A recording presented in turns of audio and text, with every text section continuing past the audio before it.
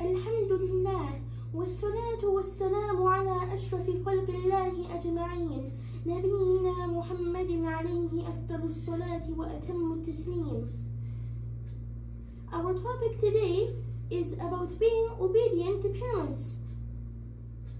Allah said in the Quran, وَقَضَى رَبُّكَ أَلَّا تَعْبُدُوا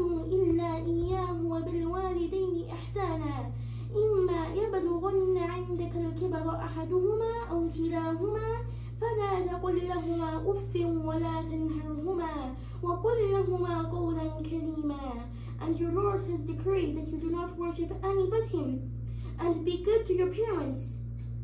If one or both of them are with you and attain old age, do not say to them a word of disrespect, nor scold them and speak to them respectfully. واخفض لهما جناح الذل من الرحمة وقل رب ارحمهما كما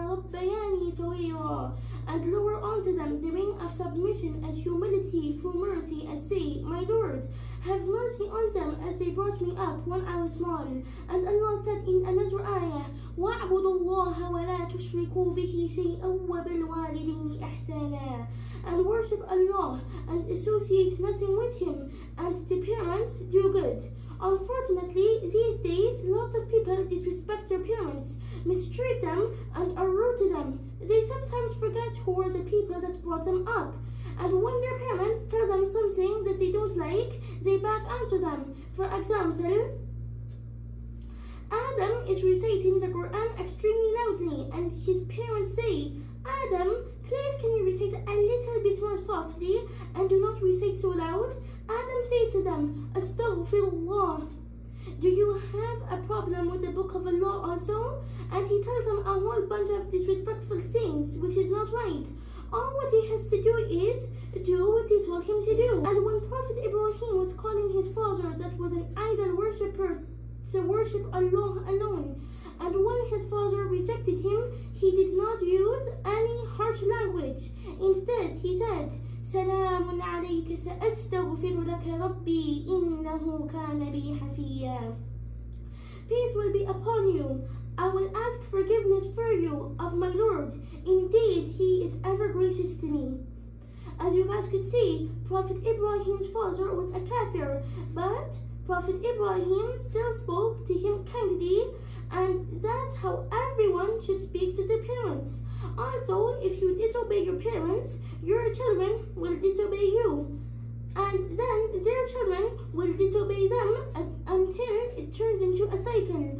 And Allah's Messenger wasallam said, two deeds that are quickly punished in this world is transgression and disrespect to parents.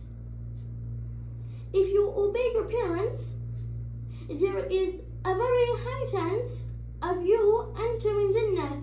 And the longer your parents are alive, you stand a higher chance of entering Jannah because your parents are two doors to Jannah, which is mentioned in the following hadith.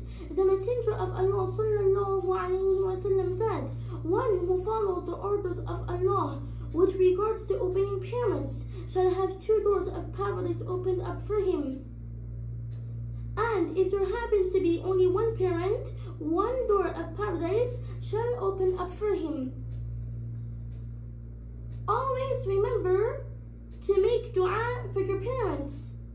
Making dua for one's parents is a profound act of love and respect in Islam. It is a way to seek Allah's mercy and blessings for them, whether they are alive or have passed away. إذا مات ابن آدم انقطع عنه عمله إلا من ثلاث صدقة جارية أو علم ينتفع به أو ولد صالح يدعو له When a son of Adam dies, he can no longer benefit from his actions except in the following three ways. A continuous act of charity, a useful contribution to knowledge, and a righteous child that makes dua for him.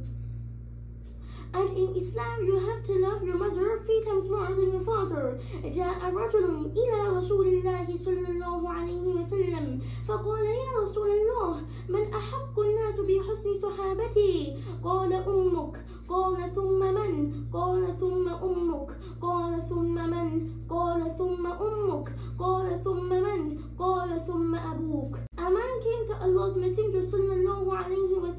said, O Allah's Messenger, who is more entitled to be treated with the best companionship by me? The Prophet said, Your mother. The man said, Who is next? The Prophet sallallahu wasallam said, Your mother.